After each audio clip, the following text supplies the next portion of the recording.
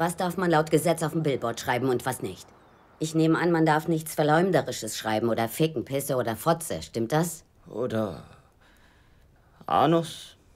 Dann dürfte ich keine Schwierigkeiten kriegen. Ich schätze, Sie sind Angela Hayes Mutter. Ja, bin ich. Ich bin Angela Hayes Mutter. Also, Mildred Hayes, warum diese Billboards? Meine Tochter Angela wurde vor sieben Monaten ermordet. Die Polizei scheint mehr damit beschäftigt, Schwarze zu foltern, als echte Verbrechen aufzuklären. Was zur Hölle ist denn das? Dixon, du erwischst mich mitten beim beschissenen Osteressen.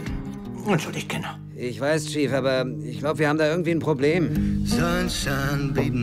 Ich würde alles tun, um den Killer ihrer Tochter zu fassen. Ich finde, ihre Billboards da sind nicht besonders fair. Während Sie herauskommen, Willoughby, und mich vollheulen wie eine Pussy, wird vermutlich irgendwo gerade ein anderes Mädchen abgeschlachtet.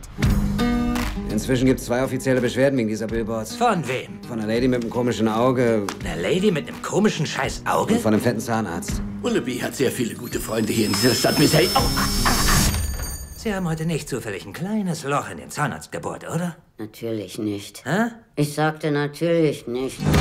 Es tut mir leid, Angela, aber die Stadt ist entschieden gegen diese Billboards. Wer hat die Dose geworfen? Welche Dose? Was ist mit dir, Schätzchen? Äh, nein, ich, ich hab nichts. Gib alles. Hey, Wichser! Was? Sag doch nicht was, Dixon, wenn sie hereinkommt und dich Wichser nennt. Je länger ein Fall in der Öffentlichkeit präsent ist, desto größer sind die Chancen, dass er aufgeklärt wird. Wissen Sie, wenn Sie weiter die Kirche besucht hätten, hätten Sie etwas mehr Verständnis für die Gefühle der Leute. Die ganze Wut, Mann. Die erzeugt nur noch größere Wut. In 3, 2, 1. Und so traurig dieses Spektakel um diese Billboards auch ist.